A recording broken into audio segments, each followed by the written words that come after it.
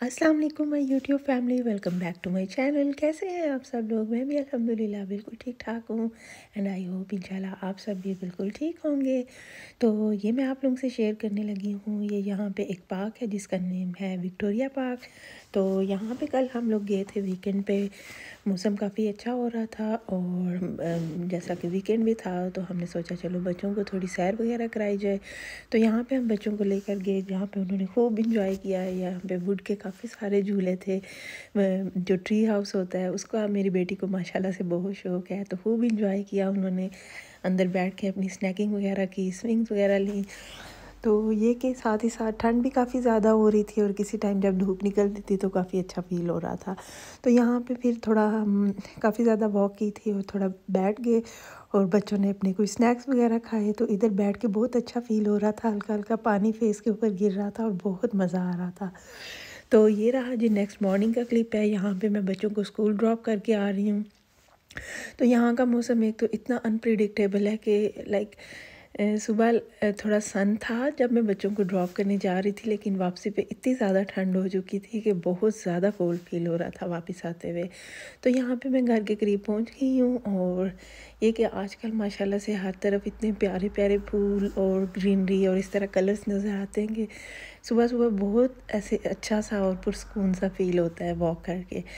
तो उसके बाद ये घर आ गई मैं जब तो इवनिंग में, अब मैं आप लोगों के साथ जो इवनिंग के क्लिप्स हैं वो शेयर करने लगी हूँ। तो ये मैंने फ्रूट चाट बनाई थी, दही और कैचअप वगैरह के साथ। तो ये पाकिस्तानी मोम इन नॉर्वे है।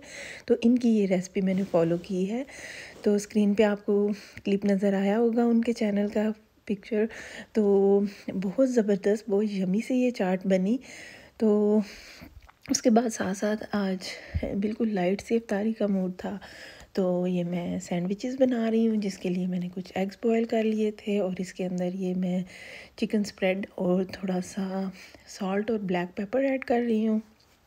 तो ये इस तरह से एक मिक्सचर रेडी करने के बाद ये जो ब्रेड है, इसके मैंने किनारे वगैरह उतार लिए हैं और ये मैं फ़िफ्टी फिफ्टी जो ब्रेड होती है, वो यूज़ कर रही हूँ। मेरे पास वो रखी हुई थी।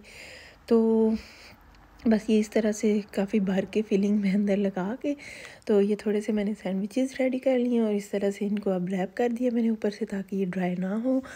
तो साथ साथ मैं बना रही हूँ अपने हस्बैंड का मोस्ट फेवरेट सालन। लाइक उनको शोरबे वगैरह वाले सालन जो है ना काफ़ी ज़्यादा पसंद आते हैं।